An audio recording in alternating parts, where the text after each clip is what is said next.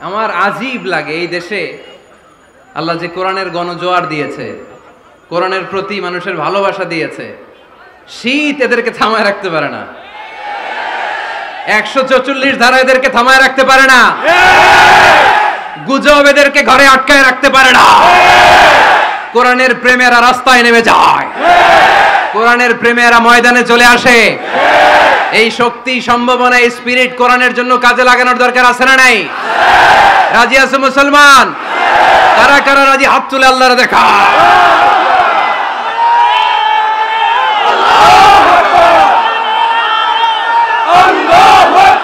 সাত নম্বরে কোরআন বলে, আমার নবী হলো আলোর মশাল। আমার নবী কি? আরও জোরে বলেন। আলোর মশাল দেখছেন আপনারা? কে কে দেখছেন? বাকিরা দেখেন নাই। বাকিরা কি দেখছেন? হারিকেন। একজনকে হারিকেন। মোমবাতি দেখছেন কে কে দেখি? ও, এটা মোমবাতি জেনারেশন হ্যাঁ? মোমবাতি দেখেছেন আপনারা, ঠিক আছে। আল্লাহ রাসুল্লাহ ইসলামকে আল্লাহ আলোর মশালের সাথে তুলনা করেছেন। আল্লাহর নবীকে কোরআনে বলা হয়েছে তিনি আলোকবর্তিকা। তিনি কি?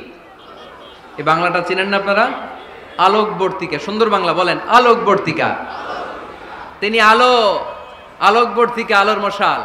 কেন তিনি আলোর মশালের সাথে আল্লাহ তুলনা করলেন? উদাহরণ দিয়ে বুঝাই, কেন নবীকে আলোর বাতি, মোমবাতি, চেরাগ বাতি, প্রদীপের সাথে কেন তুলনা করা হলো? একটু বোঝার চেষ্টা করেন। ধরেন আমার কাছে একটা মোমবাতি, এটাকে আমি গ্যাস লাইট দিয়ে জ্বালালাম। আপনাদের সবার হাতে আছে মোমবাতি, কোনো গ্যাস লাইট নাই। জ্বালানোর সুযোগও নেই। এজন্য আপনারা সবাই আপনাদের খালি মোমবাতিগুলো এনে আমার ধরানো মোমবাতি থেকে জ্বালায় নিয়ে যাবেন। আজকে মানুষ কত হয়েছে হইতে পারে, সম্ভাব্য? প্যান্ডেলে প্যান্ডেলের বাইরে মিলে? এক লক্ষ হবে? এত হবে না। হবে? আমি তো বাইরের লোকজন দেখতেছি না। ধরলাম এক লক্ষ। এক লাখ কত? এরকম হবে আচ্ছা। ধরলাম পঞ্চাশ হাজার। আপনারা পঞ্চাশ হাজার লোক, পঞ্চাশ হাজার মোমবাতি। আগুন নাই। আমার হাতের মোমবাতি, এটা জ্বালানো মোমবাতি। এবার আপনারা সবাই লাইন ধরে আপনাদের আগুন ছাড়া মোমবাতি আমার মোমবাতি থেকে ধরায় ধরায় নিয়ে যাচ্ছেন। এতে আমার মোমবাতির আগুনের কমতি ঘটবে। বোঝে নাই বোধহয়? বই ঘরের ছেলেরা বোঝে নাই?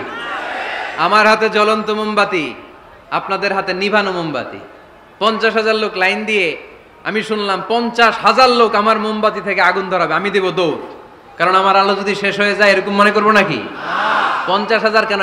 এক লক্ষ মোমবাতি নিয়ে এসে যদি আমার ধরনের মোমবাতি থেকে লোকজন আলো নিয়ে আলোকিত হয়, আমার মোমবাতির আলোর কিছু কমতি হবে না, চিল্লায় বলো, ঠিক কিনা এজন্য আমার নবীকে আল্লাহ আলোকবর্তিকা বলেছেন, আমার নবীকে আল্লাহ আলোর মশালের সাথে তুলনা করেছেন, জ্বলন্ত প্রদীপের সাথে তুলনা করেছেন, আমার নবী এমন আলো, এমন নূর আমার নবী এমন প্রদীপ এই প্রদীপ থেকে সবাই এসে আলো নিয়ে যায় আলোকিত হয় কিন্তু আমার নবীর আলোর কোনো ঘাটতি হয় না সুবহানাল্লাহ এজন্য আল্লাহ বললেন ইয়া أيها النبي إنا أرسلناك شاهدا ومبشرا ونذيرا وداعيا إلى الله بإذنه وسراجا منيرا سبحان الله সিরাজাম মুনিরা, আমার নবীর পরিচয়, তিনি হচ্ছেন আলোকবর্তিকা। ফররুক আহমেদ একটা কবিতা লিখেছেন, কবিতার নাম সিরাজাম মুনিরা। কি নাম? পড়ছেন আপনারা? এগুলো পড়বেন। তিনি হচ্ছেন আলোকবর্তিকা। তিনি এমন আলো, তার কাছ থেকে সবাই আলো নিলেও তার আলোর কমতি ঘটবে? সুবহানাল্লাহ, পড়েন। নবীর আট নাম্বার পরিচয়, কোরআন বলে, আমার নবী ছিলেন নিষ্পাপ। কোনো পাপ নাই। আমার নবী ছিলেন নিষ্কলুষ, কোনো দাগ নাই। আমার নবী ছিলেন মাসুম, আমার নবীর জীবনে কোনো গুণা নাই। আওয়াজ করে বলেন, ঠিক কিনা তারপরেও আমার নবী বিনয়ের কারণে প্রতিদিন সত্তর বারেরও বেশি আল্লাহর কাছে তওবা করতেন। নবী যদি গুনাহ সারা করে সত্তর বার, আমরা গুনাহ নিয়ে তওবা করা দরকার কয়বার? আমাদের গুনাহ আছে না নাই? বেশি না কম? পৃথিবী না জানুক আমি তো জানি। আমি কি পাপ করেছি? হাই পৃথিবী না জানুক আমি তো জানি। আমি কি পাপ করেছি? হাই আমার পাপের করলে বিচার, বাচার আমার নাই উপায়। দয়াময় প্রভু মাফ করো আমায় মাফ করো আমায় পড়েন আমিন যাদের গুনাহ আছে তারা আওয়াজ করে পড়েন আমিন ليغفر لك الله ما تقدم من ذنبك وما تأخر নবী আপনার আগের আপনার পরের কোনো গুনাহ নাই সব আল্লাহ আমি ক্ষমা করে দিলাম সব ক্ষমা করে দেয়া হয়েছে। তাই যিনি মডেল হবেন, তার গুণা থাকতে পারবে না, তার দাগ থাকতে পারবে না, তার মধ্যে কোনো দোষ থাকতে পারবে না। তিনি হতে হবেন নিষ্কলুষ, তিনি হতে হবে নিষ্পাপ, তিনি হতে হবে মাসুম। তাই আমার নবী আমার মডেল চিল্লায় বলো, ঠিক কিনা? এজন্য আট নম্বরে কোরআন বলেছে, নবীর কোনো গুণা নাই। নবী মাসুম, নবী নিষ্পাপ, নবী নিষ্কলুষ, তাই নবী আমাদের মডেল হওয়ার যোগ্যতা রাখে কি রাখে না? আমাদের মডেলের নাম মোহাম্মদ। চিল্লায় বলেন, কি নাম? আরও জোরে, কি নাম? নয় নম্বরে কোরআন নবীর পরিচয় দিল। আর দুইটা পরিচয় বলে শেষ করে দিব। দু একজন ওঠা বসা করতেছে মনে হয়। পেশাব চাপছে বোধ হয় হ্যাঁ? খুব ঠান্ডা। ও আচ্ছা আচ্ছা ঠিক আছে, শেষ করে দিচ্ছি। চলবে চলবে। কতক্ষণ চলবে? সারা রাত? আপনারা সারা রাত থাকেন, আমারে আর ভাইস চেয়ারম্যান সাহেবের দিক দিয়ে পার করে দিয়ে আমি ভাইস চেয়ারম্যানের নিয়ে দিক দিয়ে চলে যাব।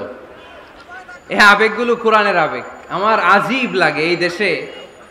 আল্লাহ যে কোরআনের গণজোয়ার দিয়েছে, কোরআনের প্রতি মানুষের ভালোবাসা দিয়েছে, শীত এদেরকে থামায় রাখতে পারে না। একশো চৌচল্লিশ ধারা এদেরকে থামায় রাখতে পারে না। গুজব এদেরকে ঘরে আটকায় রাখতে পারে না। কোরআনের প্রেমেরা রাস্তায় নেমে যায়। কোরআনের প্রেমেরা ময়দানে চলে আসে। এই শক্তি, সম্ভাবনা স্পিরিট কোরআনের জন্য কাজে লাগানোর দরকার আছে না নাই?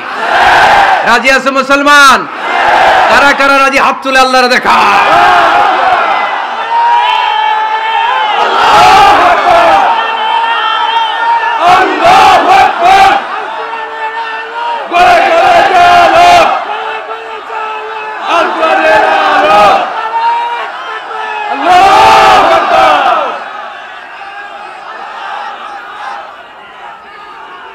মাশা আল্লাহ সবাই পড়ব, আওয়াজ করে মাশা আল্লাহ আল্লাহ তুমি আমাদের এখলাস বাড়িয়ে দাও।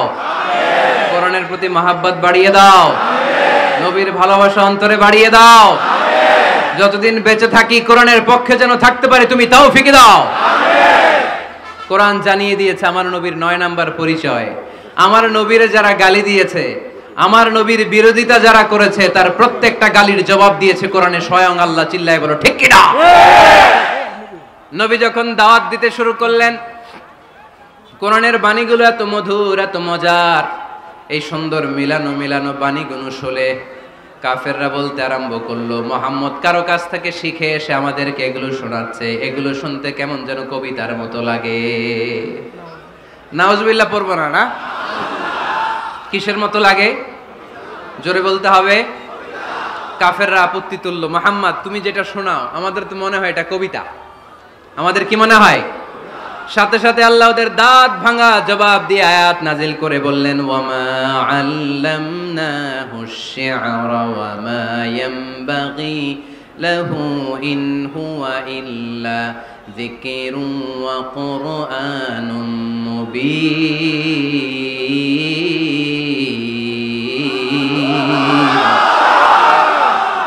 আমার নবী যা শোনা, এটা কবিতা না। আমার নবীর জন্য কবিতা জানা শোভনীয় না। আমার নবী যা শোনা, এটা উপদেশ বাণী। এটা হলো সুস্পষ্ট কোরআন। ঠিক কি না আকাশ থেকে জবাব পাঠালো কে? আবার মক্কায় আরেক দল দাঁড়িয়ে বলল, মোহাম্মদ, তুমি যা শোনাও, এটা মন্ত্রের মতো লাগে নালে মানুষ পাগল হয় কেন?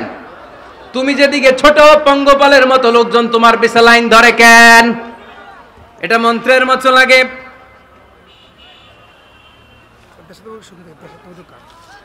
তুমি যা বলো মন্ত্রের মতো লাগে। তোমার পিছনে মানুষ কেন দৌড়ায়? তুমি মনে হয় গণক, তুমি মনে হয় কি? তুমি মনে হয় মন্ত্র বড় আকাশ থেকে আয়াত নাজিল করলেন কে?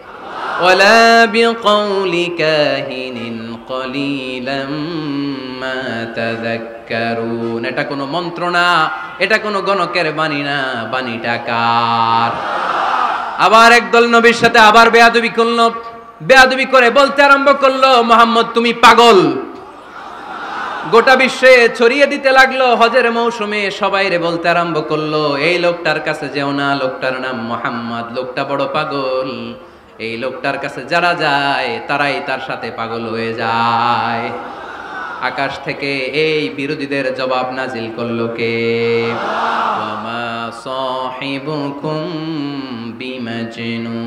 তোমাদের সাথে আমার বন্ধু পাগল নয়। ঠিক কি না যেখানেই নবীর বিরোধিতা, সেখানেই নবীর পক্ষে আয়াত নাজিল করে কে? নবীর ছেলে ছিল কয়টা? আঙ্গুল তোলার পরে বোঝা যাচ্ছে না না? আমার নবীর ছেলে সন্তান ছিল কয়জন? ছোটবেলাতেই এদেরকে উঠায় নিল কে? বেঁচে থাকে নাই, ছোট্টবেলাতে এন্তেকাল। যখন ছেলে সন্তান তিনজন মারা গেল, কাফেররা ধোয়া তুলল, নবীর বংশ নির্বংশ হয়ে যাবে।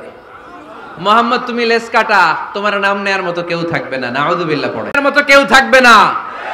তোদের নাম নেবে আর মানুষ থুতু ফেলবে, চিল্লায় বলো, ঠিক কিনা? আমার নবীর নাম নেয়ার সাথে সাথে সেখানে দুরুদ আছে না নাই?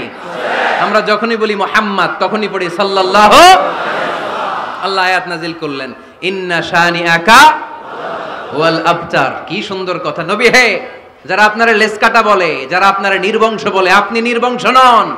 যারা বলছে নির্বংশ, ওরাই নির্বংশ। কথাটা কার?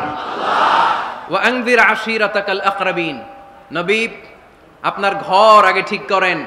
আত্মীয় স্বজনদের ঠিক করেন। আপনার নিকট আত্মীয়দেরকে নবী আপনি দাওয়াত দেন। এ আয়াত যখন নাজিল হলো, সাফা পাহাড়ের পাদদেশে নবী ডাক দিলেন, এ আমার আত্মীয় স্বজনেরা, কেউ আমার খালু, কেউ আমার চাচা, কেউ আমার নানা, কেউ আমার ভাই।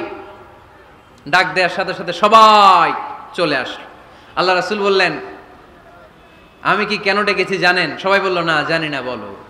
আল্লাহ রাসুল বললেন, আমি যদি বলি এই পাহাড়ের নিচে একদল সেনাবাহিনী তলোয়ার নিয়ে দাঁড়ানো, এখনই এসে কচুকাটা করবে। এই কথাটা বললে আপনারা কি বিশ্বাস করবেন? সবাই বলল, নাম, অবশ্যই বিশ্বাস করব, আন্ত সদুক আলামিন তুমি তো আলামিন মা জার্রাবনা আলাইকা ইল্লা সিদকান। We have never been experienced a single life from you in our life আমরা আমাদের গোটা জীবনে একদিনও তোমার মিথ্যা বলতে শুনি নাই তো তুমি বললে বিশ্বাস করব না কেন? অবশ্যই বিশ্বাস করব। বিষ্ণু বললেন, যদি বিশ্বাস করে থাকেন, তাহলে জেনে রাখেন, এই শত্রু যেমনি তলোয়ার নিয়ে বসে থাকে, আমার উপর বিশ্বাস না আনলে, আল্লাহর উপর বিশ্বাস না আনলে, কালিমা পড়ে মুসলমান না হলে, ফেরেশতারাও আপনাদেরকে আজাব দেওয়ার জন্য প্রস্তুত হয়ে বসে আছে। বিশ্বনবী কথা বলার সাথে সাথে বিশ্বনবীর চাচা আবুল আহাব একটা পাথর নিয়ে বিশ্বনবীর গায়ের মধ্যে ছুড়ে মারলো। আকাশ থেকে এই দৃশ্যটা দেখতে লাগল কে? সাথে সাথে আল্লাহ আয়াত নাজিল করে দিয়ে ধমক দিলেন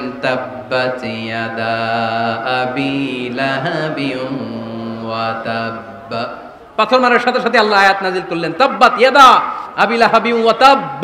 ধ্বংস হোক, নিপাত যাক আবুল আহাবের দুই হাত। আবুল আহেব নাই, কিন্তু আবুল আহাবের আদর্শের লোকের আসরা নাই? আবুল আহাব নাই আবুল আহাবের ভাতি যারা আসরা নাই? আমার নবীর বিরুদ্ধে কথা বললে ওইটা আমরা মেনে নিব না, চিল্লায় বলো, ঠিক কিনা? আমার নবীর সম্মানে আঘাত আনলে ওই হাত কি করে ভেঙে দিতে হয় আমাদের জানা আছে না নাই? আমরা আমাদের হৃদয়ে নবীর ভালোবাসা রেখে দিয়েছি। গোটা বিশ্বকে এই ভালোবাসা দিয়ে আমরা উজাড় করে দিতে রাজি, চিল্লায় বলো, ঠিক কিনা? যত জায়গায় কাফির, মুশরিকরা নবীকে গালি দিয়েছে, নবীর বিরুদ্ধাচারণ করেছে, জবাব দিয়েছে কে? জোরে বলেন কে?